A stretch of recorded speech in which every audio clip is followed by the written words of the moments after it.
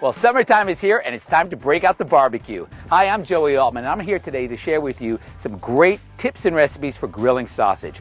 This recipe is a takeoff on buffalo style chicken wings. It's my buffalo style sausage sandwich. And it starts with grilling some sausage. And today for this recipe, I'm using three different types of sausage. I've got the sweet chicken apple, and this is Saag's uh, Naturals line. These are all fully cooked sausages. This has it's all 100% chicken, has some apple in there with a little bit of uh, herbs and some spices.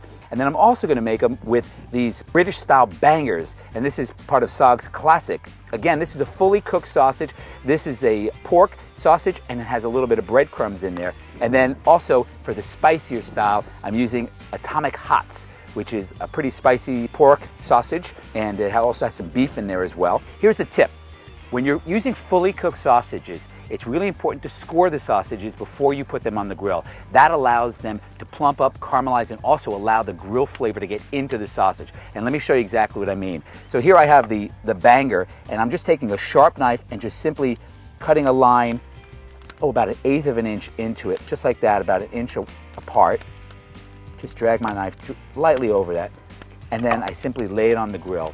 And as you see here, as they're cooking, they plump up and they get nice and caramelized brown there and all that great grill flavor from my charcoal are going into the sausage. The reason they're called bangers is back in World War II days when they had limited supply of meat, they would add breadcrumbs, the leftover bread, to their sausage stuffing to you know, extend it. But when they cooked, the fat and the bread and the moisture would cause them to plump up again and explode, hence banging and that's why they're called bangers. Okay, so now the sausage is grilled. Now let me show you how I make my dressing. Starts out with some blue cheese, and I just let it warm or sit outside um, for about 10, 15 minutes. It gets nice and soft.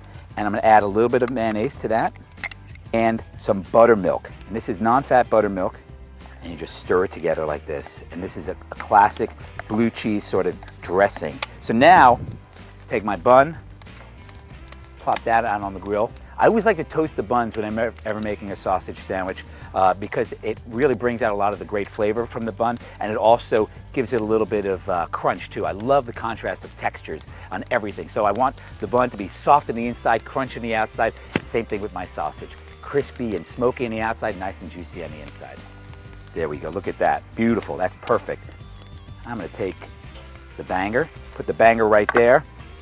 Just take a little bit of this blue cheese dressing, doesn't need a lot.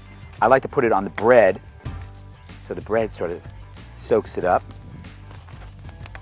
You could do it on both sides if you like. I'm a fan of the blue cheese. And then the contrast, that tangy, sweet dressing, some great buffalo wing sauce. You can use whatever brand you like. Man, that is tasty. Great creative way to use sausages on the grill. For some more great sausage grilling recipes and tips, check out the other videos at saags.com. The thing what I like to work at Saag's is well, I got all the tools to make the best sausage. I got the best ingredients, I got the best meat, I got the best equipment, and I can blend it together. And when it comes out the best, it's a joy to look at it, smell it, taste it, and my day is done.